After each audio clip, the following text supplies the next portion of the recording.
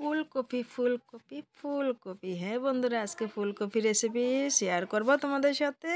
তো ফুলকপিটা কেটে ধুয়ে ভালো করে পরিষ্কার করে নিয়েছি। এখন বয়েল বসিয়ে দিয়েছি। হলুদ আর নুন দিয়ে, জল দিয়ে। ভালো করে এটা হাফ বয়েল করে নেব। সঙ্গে থাকো, আজকে রেসিপি খুব সুন্দর, দারুণ রেসিপি তোমাদের সাথে আমি শেয়ার করব। তো ফুলকপিটা ঢাকা দিয়ে বয়েল করে নেব। বয়েল করে আমি জল ফেলে ঠান্ডা করে নেব। এদিকে কিছু আমি বেসন নিয়েছি। বেসনের মধ্যে অল্প সামান্য চালে গুঁড়া দিয়েছি। এক চামচের মতো চালে গুঁড়া দিয়েছি। তোমরা চাইলে চালে গুঁড়া না দিতে পারো। তো এখানে হলুদ পরিমাণ মতো হলুদ দিয়েছি আর দিয়ে দেবো আমি এখানে পরিমাণ মতো নুন। নুন দিয়ে বাস এখন জল দিয়ে একটা ঘোল তৈরি করব। ঘোলটাতে জল আমি একবারে দেব না। বারে বারে জল দিয়ে একটা ঘোল রেডি করছি। বন্ধুরা, আজকে ফুলকপি রেসিপিটা তোমাদের সাথে শেয়ার করব। আমার বাড়িতে বানানো হচ্ছে খুব সুন্দর নতুন ছোলার ডাল দিয়ে।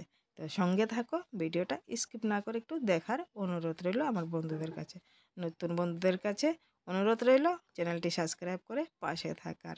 পাশে থাকা বেলাকনটা অন করে রাখবে, সঙ্গে সঙ্গে নোটিফিকেশন পেয়ে যাবে যখন যখন আমি ভিডিও পোস্ট করব। ফুলকপিটা বয়েল হয়ে গিয়েছে। নামিয়ে নিয়েছি। ঠান্ডা হওয়ার জন্য জল সরে রেখে দিয়েছিলাম। জলও সরে গিয়েছে। এখন বেসনের ঘোলের মধ্যে এক এক করে আমি ডুবিয়ে নিচ্ছি। ভালো করে বেসনের মধ্যে চুবিয়ে এখন দিয়ে দিচ্ছি তেলের মধ্যে। হ্যাঁ বন্ধুরা, এখানে আমি তেল কম দিয়েছি।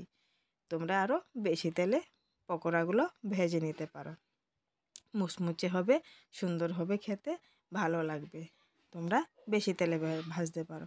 আমি কম তেলেই পকোড়াগুলো ভেজে নিচ্ছি, ফুলকপির পকোড়া। তো এক এক করে দিয়ে দিচ্ছি তেলের মধ্যে। তোমরা ভাসা তেলে ভাজলে এমনিও রেখে দেবে, খেতে পারবে, ভাত দিয়ে ব্যাস, এমনিও রান্না করতে করতে খেয়ে নিতে পারবে। টপাস টুপুস টপাস টুপুস করে মুখে ঢোকাবো আর খেয়ে নেবে। বাস রান্না করব, কখন খাব, কখন খাওয়াবো, বাঁচবে কি না, তাই না বন্ধুরা? রান্না করতে করতে ভাজা হলে একটা দুটা করে মুখে দিয়ে দিও। বড় পরিবার হলে নিজের জন্য কিছু থাকে না। সবার জন্য বাড়তে বাড়তে বাটি খালি, কড়াই খালি।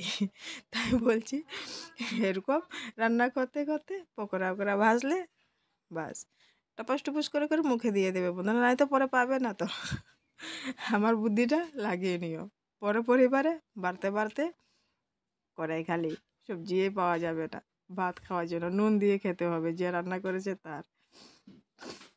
এই করে করে বন্ধুরা পকোড়াগুলো ভেজে নিচ্ছি। হ্যাঁ বন্ধুরা, খুব স্বাদ এই পকোড়া। আমি আগে বানিয়েছিলাম, এভাবে ডিমে চুবিয়ে তোমরা আমরা চ্যানেলে গিয়ে দেখে আসতে পারো। ডিমে ফুলকপি চোবানো পকোড়াটা খুব দারুণ সুন্দর হয়েছিল, দারুণ হয়েছিল খেতে। আর ফুলকপি রেড কালারের পকোড়া বানিয়েছিলাম, তোমরা আমার চ্যানেলে গিয়ে ঘুরে আসতে পারো। তো আজকে আমি পকোড়া বানাবো আর ছোলার ডাল দিয়ে রান্না তোমাদের সাথে শেয়ার করব। আমার সঙ্গে থাকো, ভিডিওটা দেখতে থাকো। পকোড়াগুলো আমি ভেজে উঠিয়ে নিচ্ছি প্লেটের মধ্যে। দেখো বন্ধুরা কত সুন্দর হয়েছে দেখতে। এটা মনে হচ্ছে না এখন খাই খাই। দেখো। এক এক করে উঠিয়ে নিলাম। আরও এক এক করে বাকি যেগুলো ছিল দিয়ে দিচ্ছি। নতুন বন্ধুদেরকে অসংখ্য ধন্যবাদ আমার সাপোর্ট করার জন্য। যারা কালকে ভিডিওতে আমার সাবস্ক্রাইব করেছ, দুইজনে সাবস্ক্রাইব করেছ, অসংখ্য ধন্যবাদ সাবস্ক্রাইব করে পাশে থাকার জন্য। বন্ধুরা একটু কমেন্ট করবে, তখন আমি বুঝতে পারব, চিনতে পারব তোমরা কারা, কোথা থেকে দেখছ। সবগুলো পকোড়া ভেজে উঠিয়ে নিয়েছি, থালের মধ্যে রেখে দিয়েছি। দেখো বন্ধুরা, এখনই মনে হচ্ছে একটা দুটা খেয়ে নিই। তো কড়াইয়ের মধ্যে আরও তেল দিয়ে শুকনো লঙ্কা ফোড়ন দিয়ে দিয়েছি। কড়াটা অনেক গরম হয়ে গিয়েছে বন্ধুরা আর পাঁচ ফোড়ন দিয়েছি। ভিজানো মশলা এখানে আমাদের লঙ্কার গুঁড়ো, হলুদ গুঁড়ো, জিরের গুঁড়ো, নুন, জল দিয়ে আগের থেকে ঘুলিয়ে রেখে দিয়েছিলাম। দিয়ে ভালো করে নাড়াচাড়া করে আদা গ্রেট করা। তোমরা আদা পিষে দিতে পারো। আমি আদাটা গ্রেট করা দিলাম। আর হ্যাঁ বন্ধুরা, তোমরা এখানে আমি বানাচ্ছি সম্পূর্ণ নিরামিষের। তোমরা এখানে রসুন পেঁয়াজ ব্যবহার করতে পারো। রসুন পেঁয়াজ দিয়ে রান্না করলে রান্নাটা আরও স্বাদটা দুগুণ বেড়ে যাবে। আমি যেভাবে রান্না করছি ওইভাবে থেকে আরও দুই গুণ বেড়ে যাবে রসুন, পেঁয়াজ দিয়ে যদি তোমরা এই রান্নাটা রান্না করো। আমার রান্নাটা সম্পূর্ণ নিরামিষ। এদিকে ছোলার ডাল। প্রেশার কুকারে আমি আগের থেকে সিটি মেরে রেখে দিয়েছিলাম সামান্য একটু হলুদ আর নুন দিয়ে। তো মশলাটা এদিকে কষানো হয়ে গিয়েছে। তেলও ছেড়ে দিয়েছে, দেখতে বুঝতে পারছ তোমরা। তো ছোলার ডালটা দিয়ে দিলাম। দিয়ে ভালো করে নাড়াচাড়া করে আর একটু জল দেবো বন্ধুরা এখানে আমি। তো ফুলকপি ঝোল টানবে, তাই আর কি। ফুলকপি দিলে জলটা কমে যাবে, মাখো মাখো হয়ে যাবে, ভালো লাগবে না, তাই একটু জলটা বেশি দিলাম। গরম জলে দিয়েছি, জলটা আমার ঠান্ডা হয়ে গিয়েছে। আগে ফুটিয়ে রেখে দিয়েছিলাম তো অন্য সবজিতে দেওয়ার জন্য, তাই আর কি। জলটা ফুটে উঠেছে, এখন আমি ঢাকা দিয়ে ফুটিয়ে নিয়েছি পাঁচ সাত মিনিট। তো এখন নাড়াচাড়া করে নিয়েছি।